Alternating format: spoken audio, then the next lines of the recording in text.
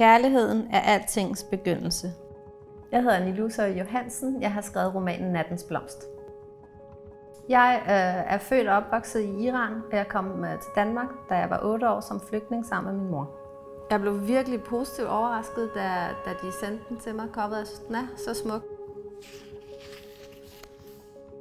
Nattens Blomst er en øh, bog, der foregår i Iran i 1950'erne. Bogen handler om en øh, ung kvinde, Ziba, som øh, er, er datter af en magtfuld borgmester, og hun har nogle drømme om at leve et selvstændigt liv. De drømme de bliver knust. Hun bliver giftet bort som 16-årig, øhm, og så handler den om, hvad hun egentlig gør for at realisere sit liv alligevel, og til trods for de øh, rammer, der har været omkring hende. Ret vildt at se den i bogform. Altså, den har også siddet på min computer, og jeg har set den på Word. Historien bliver tit skrevet af mænd, og jeg har følt, at der har været øh, et behov for at fortælle historien igennem kvinder. Jeg synes, det er vigtigt, at vi hører kvinders stemmer, og vi hører om deres liv. Jeg synes, det er vigtigt, at vi hører om, at de er andet end ofre, fordi det er ikke det hele billede.